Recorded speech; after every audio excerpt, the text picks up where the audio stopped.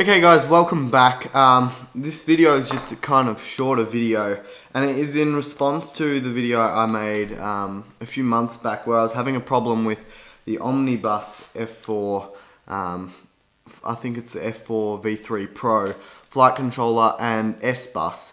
And basically the problem was is I wasn't actually able to get any reading on Betaflight or Betaflight um, of the receiver even though I was connecting to my transmitter. So today I'm going to run through and diagnose, help you diagnose the problems because um, sometimes it can be really frustrating. And my um, solution was actually very simple and I can't believe I didn't actually think of it. Okay. So first we're going to want to have Betaflight open. You want to have the most recent firmware um, for Betaflight and actually I'll just go like this so you can kind of see what I'm doing as well as talking. So you have Betaflight open and um, I'll bring up a little diagram of the F the F4 V3 Pro of the Omnibus and I'll show you what you have to do is you have to connect um, connect the ground, the voltage and the S-Bus. Now if you're running PPM or S-Bus there's this tiny little tab that I'll put up here and I'll put a little circle around and you have to solder the two joints between the side that you want, whether it be S-Bus or PPM. Um, and those, that will check which one that you want out of S-Bus and PPM. Now you want to plug in your board and you want to have it read, reading as well here. Um, I think my, I need to plug in battery. But what you want, want to do is, this is where I got stuck actually. So You've got down here, hopefully that works. So you want to have Omnibus F4 and the you actually want to go down to Omnibus F4 SD is the one that you need for the V3 Pro. Um, so that's what you need, right? Because I was doing um, Omnibus F4 and I wasn't doing this one. So this is the one that you need um, to configure it.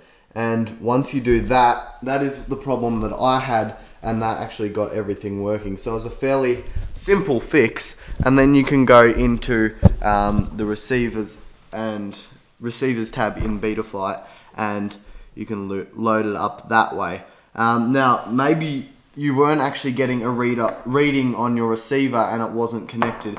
You need to make sure that you've bound your receiver um, to the to your controller, whether it be a Taranis or um, whatever it is.